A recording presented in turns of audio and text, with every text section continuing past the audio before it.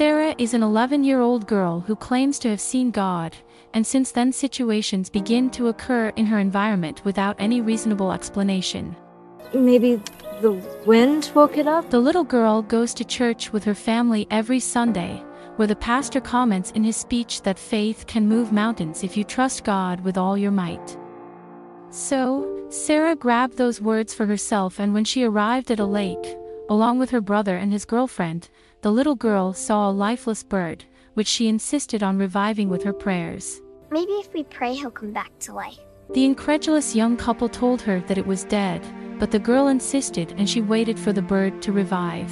Please bring him back. The couple leaves to go fishing. When they return, they are shocked to find Sarah on her knees saying that she saw God floating on the lake. You see him? Then the wind blows and the bird that was in Sarah's hands suddenly comes back to life, leaving the incredulous young couple speechless who can only associate what happened with the wind. Maybe the wind woke it up? Returning home, Sarah tells what happened to her grandfather, who tells her that she has always known that she was special. I always thought you were kind of special. Sarah was impressed and immediately calls her friend Mark, who is in a wheelchair due to a spinal injury. Upon hearing the story, the boy does not pay attention to him and does not take it seriously, but Sarah insists and swears by the Bible, which makes Mark reconsider the veracity of the story. He looked young and kind. Before going to sleep, her mother enters the room and asks her to thank God for the day and all the good things that have happened to her. Surprisingly, the girl tells her that God will take her away soon. I want to die, but I want to go to heaven. No more talk about dying. Okay? Those words left her speechless and she withdrew very worried. In the middle of the night, Danny wakes up and tells his parents that Sarah is not well. They immediately locate the family doctor, Dr. Ben, who quickly comes and determines that it is a simple flu and that they should not worry. Thanks, we will. Dr. Ben leaves and Sarah's father enters her room, where he sees a beautiful drawing of God in the lake. You drew this? Yeah. Days later, Sarah and Mark are surrounded by other boys who make fun of her, calling her stupid for saying that she revives the animals. Mark feels very sorry for what happened and confesses that he told everyone about the miracle since he was very happy for her. My frog died last night. Could you bring him back too? Danny and his girlfriend Cindy watch the boys attack her from afar, but the boy decides to confront them by kicking a soccer ball directly at one of the bikes that one of the boys was carrying. Didn't your parents ever tell you not to pick on girls? Then a member of the opposite soccer team shows up with his dog to make fun of him. Still trying to make up for your pathetic game the other day? But at that moment he watches how his dog is hit by a vehicle that passed at high speed, leaving the canine lifeless instantly and the young man, full of pain, bursting into tears. You killed my dog, man. Hold on! It was an accident! Seeing the situation, little Sarah approaches and begins to pray for God to save the helpless animal, which minutes later the pet miraculously gets up as if nothing had happened before the astonished gaze of all those present, who were left speechless before the miracle of the girl. Days later, Mark full of faith asks Sarah to heal her spinal injury. The girl does not believe she can achieve it because it is an incurable condition, but she begins to pray to God for the recovery of his friend. Do you think you can help me walk again? The next day Mark goes to a medical checkup with his parents, where the doctor routinely asks the child to try to move his toes. Unable to believe what he sees, he realizes that the child's toes are moving but warns that it does not mean a recovery, since the little hope was not in the diagnosis. I can't explain what, what happened in there. In a matter of minutes, Mark manages to stand up and walk without a problem, leaving everyone present shocked and thanking his friend Sarah for his prayers. Oh my... At that moment, a journalist who was on the premises decides to take note of what happened, causing Sarah to be seen on television publicizing his ability to perform miracles. Hey guys, look who came to say hi. The pastor together with the doctor decided to go and deliver the good news about his friend to Sarah, who openly thanks God for the miracle. The pastor, very sure of what had happened, asked the girl about her experience in the lake. She was very excited to tell the details of what happened. Do you speak to God often? All the time. Don't you?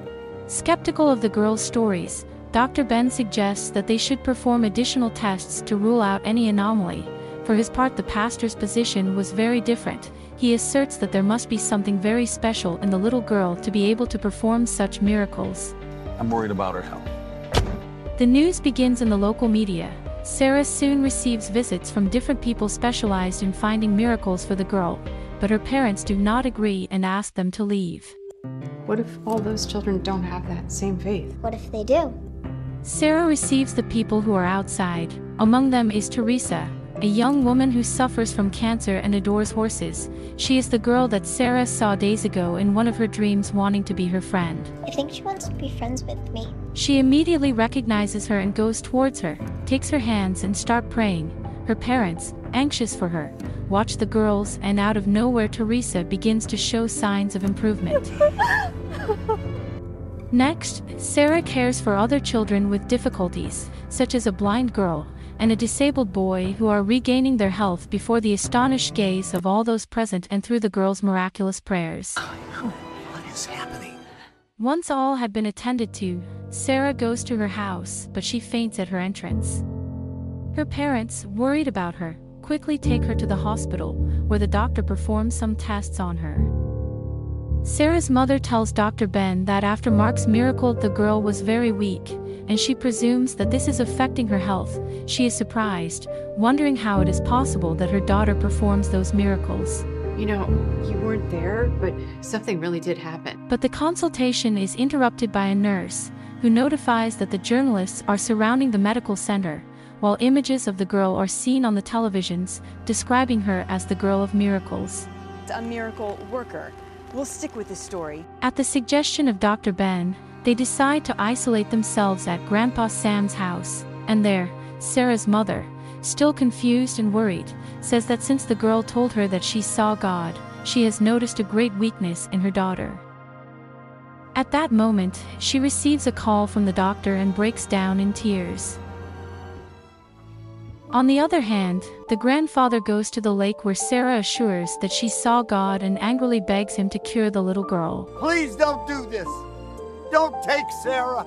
Later, they receive a visit from the pastor and Dr. Ben, who informs them that the girl has a tumor in her head with no hope of recovery. They prevented the girl to be present while giving the news. Later, the little girl listens to the diagnosis while she sees her mother crying inconsolably. I love you. For this reason, she runs to comfort her mother, assuring her that she will be very happy when she goes to heaven and be with God. Faced with so much sadness, Sarah faints and is taken back to the hospital. When she wakes up, she is being attended by Cindy and Mark. Then they go to her grandfather's house where she finds Teresa is with her parents. The young woman reveals that while Sarah was praying for her, she could see an image next to her, which extended her hand at the same time as the little one. It was a spiritual figure floating next to Sarah. The grandfather, convinced that Sarah could see something beyond normal in the lake, tells them that he has a plan together with the pastor to take the girl to that place, this being the girl's last wish. Although she is aware of that the idea will not be accepted by their parents, however all those present decide to support them. So this is what I'm thinking. The plan is put into action, each one is in charge of a detail.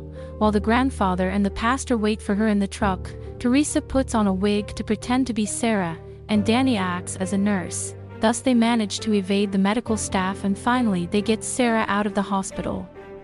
The group achieves the objective, but no one realizes that a journalist is watching them and immediately informs the staff.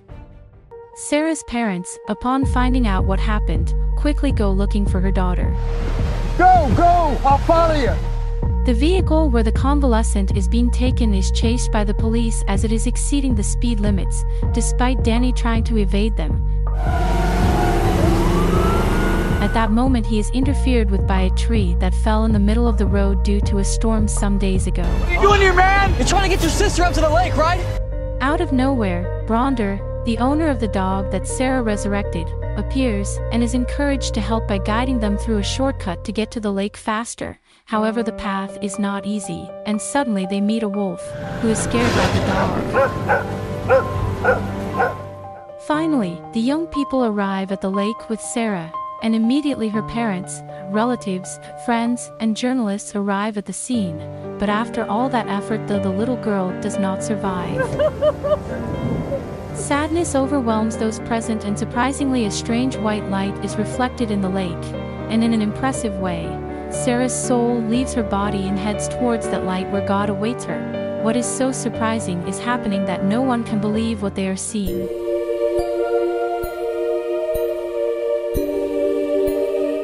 After this, they take Sarah's body to her house. There they find a drawing of her with God holding her hand, and another of her where she returns from heaven. Hope immediately seizes everyone, and Danny, with great faith, begins to pray with all his might.